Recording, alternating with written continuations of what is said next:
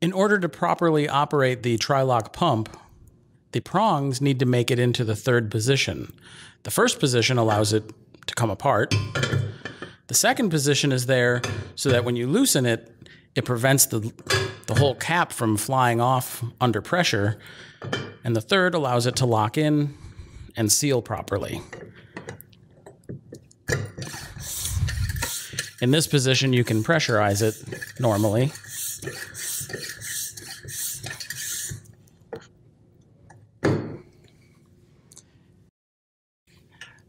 Tri-lock pump prevents it from flying off and inadvertently being removed.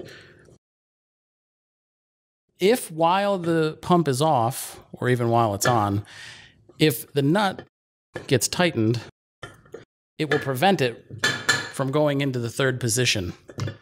All you need to do is loosen it, and it'll make it into that spot, allowing you to seal it normally.